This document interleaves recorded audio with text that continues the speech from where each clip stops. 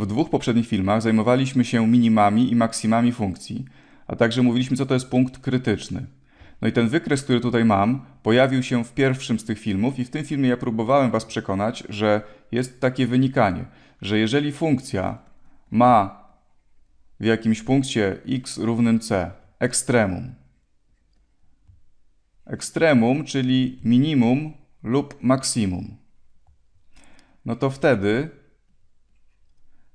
ten punkt musi być punktem krytycznym, czyli x równy c jest punktem krytycznym.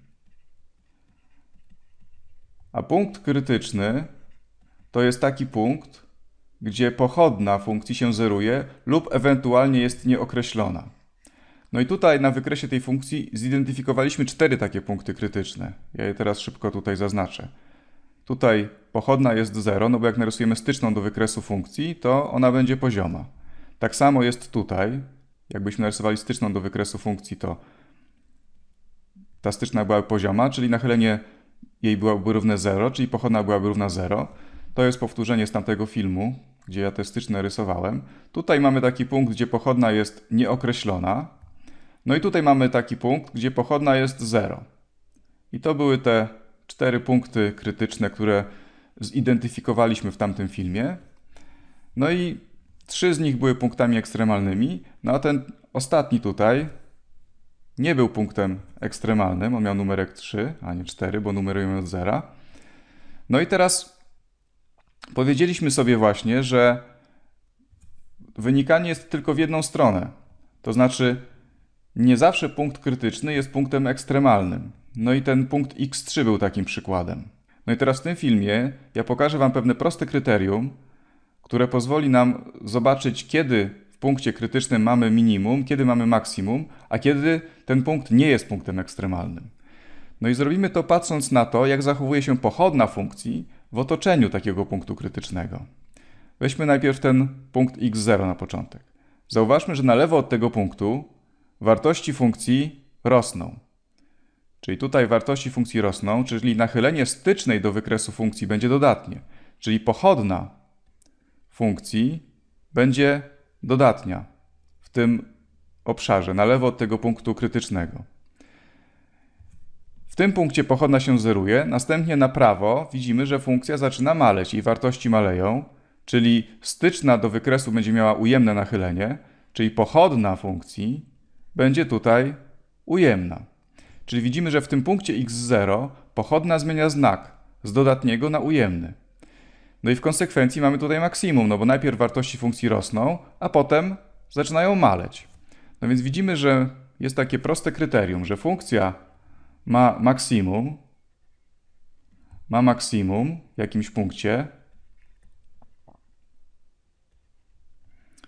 w jakimś punkcie x równym c. No kiedy ma maksimum? No jeżeli pochodna, jeżeli pochodna f' od x zmienia znak w tym punkcie zmienia znak w x równym c i to nie byle jak, tylko zmienia z dodatniego na ujemny.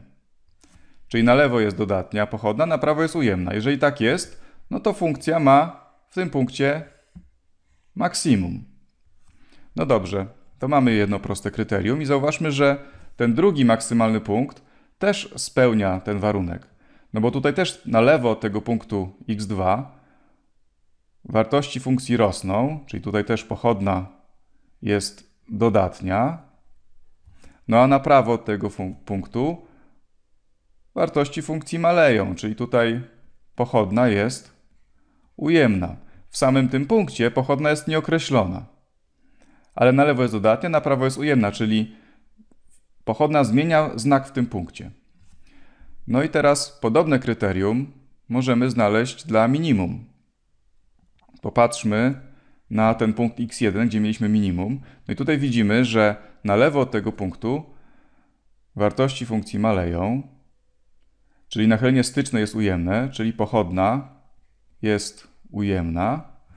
No a na prawo od tego punktu wartości funkcji rosną, czyli tutaj pochodna jest dodatnia. Czyli widzimy, że funkcja ma minimum, czyli minimum mamy wtedy, kiedy pochodna zmienia znak, ale w odwrotną stronę. Zmienia znak, ale z ujemnego na dodatni. Czyli na lewo tego punktu pochodna jest ujemna, na prawo jest dodatnia, no więc na lewo wartości funkcji maleją, na prawo wartości funkcji rosną, więc w tym punkcie mamy lokalne minimum. No dobrze, no i teraz przyjrzyjmy się jeszcze temu ostatniemu punktowi tutaj, który mamy, w którym nie ma ekstremum. No i zobaczmy, że tutaj w tym punkcie pochodna po prostu nie zmienia znaku, dlatego że na lewo od tego punktu pochodna jest ujemna, bo wartości funkcji maleją. Tutaj mógłbym właśnie nawet to połączyć. Tutaj cały czas od tego punktu do tego wartości funkcji maleją, pochodna jest cały czas ujemna. W tym punkcie pochodna się zeruje. Ale na prawo tego punktu funkcja nie zaczyna rosnąć. Gdyby zaczęła rosnąć, no to mielibyśmy minimum. Ale ona znowu maleje. Czyli tutaj znowu pochodna jest ujemna. Czyli tu jest taki punkt, który nie spełnia żadnego z tych kryteriów. Na lewo tego punktu pochodna jest ujemna, na prawo pochodna jest ujemna. W tym punkcie, co prawda, ona jest równa 0, ale nie zmienia znaku. No i dlatego w tym punkcie nie mamy ekstremum. Czyli podsumowując, można powiedzieć, że mamy takie proste kryterium pozwalające określić, czy dany punkt krytyczny jest punktem ekstremalnym.